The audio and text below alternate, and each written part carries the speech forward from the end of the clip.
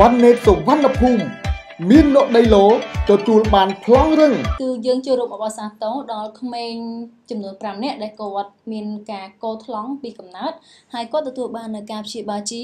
ជោគជ័យផងដែរចាអញ្ចឹងគឺមកទល់នឹងថ្ងៃទី13ខែតុលា2019ម្សិលមិញនេះកុមារកោថ្លង់ពីកំណើតនឹងមានដោយសារជំងឺចំនួន3នាក់ដែលមកទទួលបានការវះកាត់ ឲ្យស្ដាប់ឮនិងនិយាយបានធម្មតានៅមន្ទីរពេទ្យព្រះអង្គឌួងទទួលបានជោគជ័យ100%ហើយនេះបើតាមការបញ្ជាក់របស់លោកសាស្ត្រាចារ្យស្រីវ៉ាន់ថនប្រធានផ្នែកព្យាបាលត្រចៀកច្រមុះបំពង់កនៅមន្ទីរពេទ្យព្រះអង្គឌួងលោកសាស្ត្រាចារ្យបានថ្លែងបន្តថានៅថ្ងៃទី13ខែតុលាម្សិលមិញនេះដោយមានការសហការជាមួយគ្រូពេទ្យឯកទេសមកពីសាកលវិទ្យាល័យจุฬាលង្កនប្រទេសថៃ យើងបានធ្វើការវះកាត់ដល់កុមារយើងចំនួន3នាក់ទៀតហើយទទួលបានជោគជ័យបន្ទាប់ពីយើងវះកាត់ជោគជ័យនឹងអាចឲ្យអ្នកជំងឺស្ដាប់និងនិយាយបានធម្មតាចំនួន25នាក់កន្លងមកនេះចាប់តាំងពីយើងចាប់ផ្ដើមដំណើរការវះកាត់ជិត1ឆ្នាំកន្លងមកលោកបានបញ្ជាក់ទៀតថាសម្រាប់ការវះកាត់កោថ្លង់នេះគឺមានទាំងកុមារនិងមនុស្សពេញវ័យ តែបើអាយុចាប់ពី7 8ឬក៏យ៉ាងទាបបំផុត3ឆ្នាំទទួលបានប្រសិទ្ធភាពខ្ពស់ដោយអាចស្ដាប់និងនិយាយបានយ៉ាងឆាប់រហ័សក្នុងរយៈពេលដ៏ខ្លីបំផុត ជាងមនុស្សចាស់ព្រោះថាវ័យកាន់តែក្មេងអដាតគាត់វឹកហាត់រលាស់បានលឿនមិនប្រើប្រាស់ពេលវេលាយូរក្នុងការបង្រៀនដោយមនុស្សចាស់នោះទេដូច្នេះសូមអំពាវនាវដល់អាណាព្យាបាលបើកូនមានស្ថានភាពមិនល្អ មិនអាចនិយាយឬស្ដាប់ឮសូមប្រញាប់យកកូនមកទទួលការព្យាបាលដូចជាវះកាត់ភ្លាមភ្លាមតែម្ដងក្នុងឱកាសនោះគ្រូពេទ្យឯកទេសពីប្រទេសថៃលោកផឹបសាត EC Pradip បានថ្លែងថាការវះកាត់កោថ្លង់នេះប្រើគឺប្រើប្រាស់រយៈពេល1ទៅ2ម៉ោងបន្ទាប់មកត្រូវបង្រៀនគាត់ឲ្យនិយាយ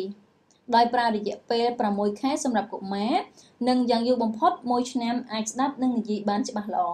មនុស្សចាស់អាចប្រើរយៈពេលយូរជាងកុមារបន្តិចទន្ទឹមនឹងនោះលោកស្រីលីហួយអាណាព្យាបាលរបស់កុមារកោថ្លង់ដែលបាននាំកូនមកទទួលសេវាវះកាត់គឺគាត់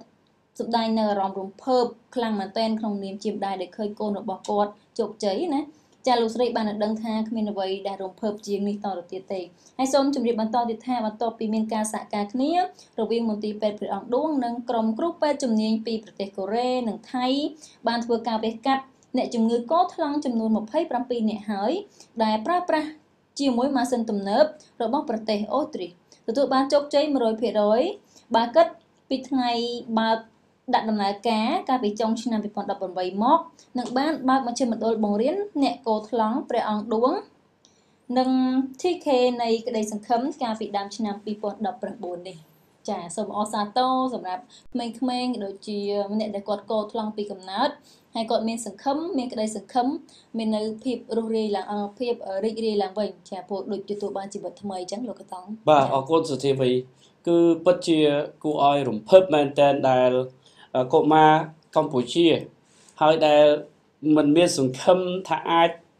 នឹងលឺវិញហើយក៏មិនអាចសង្ឃឹមថាអាចនិយាយបានណានេះគឺប្រៀបដូចជាទេវតាជប់បាទប្រៀបដូចជាទេវតាជប់